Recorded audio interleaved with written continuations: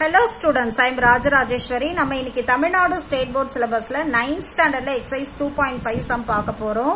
First கொஸ்டினை படிச்சிடலாம். Write the following இந்த form of four power n அப்படின்னு கொடுத்துருக்காங்க. இந்த மூணு சம் என்னன்னா சிக்ஸ்டீன் ஒன்னு எயிட் ஒன்னு தேர்ட்டி டூ ஒன்னு இப்போ இதுல ஃபர்ஸ்ட் சம் பார்க்கலாம். சிக்ஸ்டீன் கொடுத்துருக்காங்க.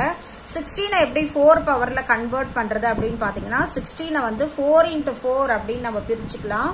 ஃபோர் இன்ட்டு ஃபோர் அப்படின்றத நம்ம எப்படி எழுதிக்கலாம் அப்படின்னு கேட்டிங்கன்னா is equal to four to the power of டூன்னு எழுதலாம்.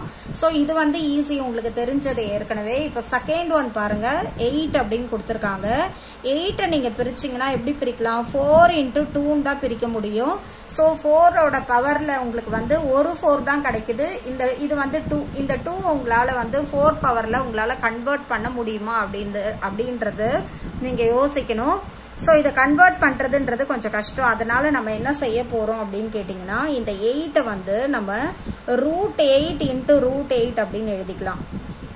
ஸோ இது இந்த ரூட் எயிட் இன்ட்டு ரூட் எயிட்னு எழுதுறதுனால உங்களுக்கு எயிட்டோட வேல்யூ உங்களுக்கு மாற போகிறதில்ல because root of eight into eight தான் வந்து உங்களுக்கு பார்த்தீங்கன்னா எயிட் இல்லையா? ஸோ ரூட் ஆஃப் ஆர் இது ரெண்டுத்தையும் ஒரே இதில் கூட எழுதலாம். ரூட் ஆஃப் எயிட் இன்ட்டு எயிட்னு கூட எழுதிக்கலாம்.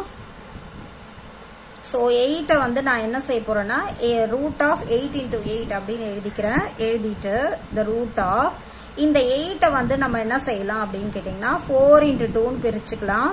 இந்த எயிட்டை வந்து மறுபடியும் ஃபோர் இன்ட்டு டூ அப்படின்னு பிரிச்சுக்கோங்க. இப்படி பிரிக்கும் போது என்ன ஆகும்னா உங்களுக்கு தோ ஒரு ஃபோர் இருக்கு இங்க ஒரு ஃபோர் இருக்கு இந்த ரெண்டு டூவும் சேர்த்து இன்னொரு ஒரு ஃபோர் கிடைக்கும். So root of four into four into four இப்போ பார்த்தீங்கன்னா எல்லாமே ஃபோராக கன்வெர்ட் ஆயிடுச்சு. ஸோ இந்த மாதிரி உங்களுக்கு வந்து எயிட்டை வந்து பிரிச்சிங்கன்னா இந்த மாதிரி ஒரு ஃபோர் மட்டும் கிடைச்சதுன்னா நீங்கள் என்ன செய்யலாம் அப்படின்னு கேட்டிங்கன்னா இந்த எயிட்டை வந்து ரூட் ஆஃப் எயிட் இன்ட்டு எயிட்டுன்னு பிரிச்சுட்டு உங்களுக்கு four into two again four into two அப்படின்னு போட்டுட்டு ஃபோர் ஃபோர் இந்த டூவும் இந்த டூ மல்டிப்ளை பண்ணால் இன்னொரு ஃபோர் கிடைக்கிற மாதிரி இந்த மாதிரி பண்ணிக்கலாம். ஸோ சிங் இந்த ஒரு ஃபோர் கிடைச்சா மட்டும் நீங்கள் இந்த மாதிரி போட்டுக்கோங்க. போட்டிங்கன்னா உங்களுக்கு ஈஸியாக இருக்கும். ஸோ எத்தனை ஃபோர் இருக்குன்னா four to the power of three இருக்கு. இல்லையா? இதை எப்படி எழுதுவீங்க? Root of four to the power of three அப்படின்னு எழுதுவீங்க. Four to the power of three இந்த ரூட்டை எப்படி எழுதலாம்? Whole to the power of one by டூன்னு எழுதலாம். So four to the power of three into one by two என்ன வரும்?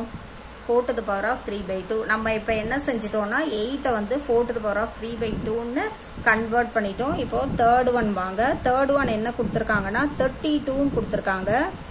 தேர்ட்டி டூவை நம்ம எப்படி பிரிக்கலாம் அப்படின்னு பார்த்தீங்கன்னா four into four into two அப்படின்னு பிரிக்கலாம். இல்லையா? ஏன்னா four fours are sixteen sixteen twos are thirty two இந்த மாதிரி பிரிக்கலாம். பட் அகெயின் பார்த்தீங்கன்னா போன சம் மாதிரியே இங்கே டூ வந்திருக்கு. இந்த டூவை வந்து ஃபோராக மாற்றுறதுக்காக நான் நீங்கள் என்ன செய்கிறீங்கன்னா தேர்ட்டி டூவை root of thirty two into thirty டூன்னு எழுதிக்கிறீங்க. இந்த மாதிரி எழுதுறதுனால இதோட வேல்யூ மாறாது. So root of thirty two into thirty two இந்த ரூட் ஆஃப் இந்த தேர்ட்டி டூ எப்படி எழுதலாம்? Four into four into two again இந்த தேர்ட்டி டூ எப்படி எழுதலாம்? Four into four into two எழுதியாச்சா? That is equal to root of எத்தனை four இருக்கோ முதல்ல அதை எழுதிக்கோங்க. ஒன் டூ த்ரீ ஃபோர் எழுதியாச்சு. இந்த டூவும் இந்த டூவும் மல்டிப்ளை பண்ணீங்கன்னா உங்களுக்கு ஒரு ஃபோர் கிடைக்கும்.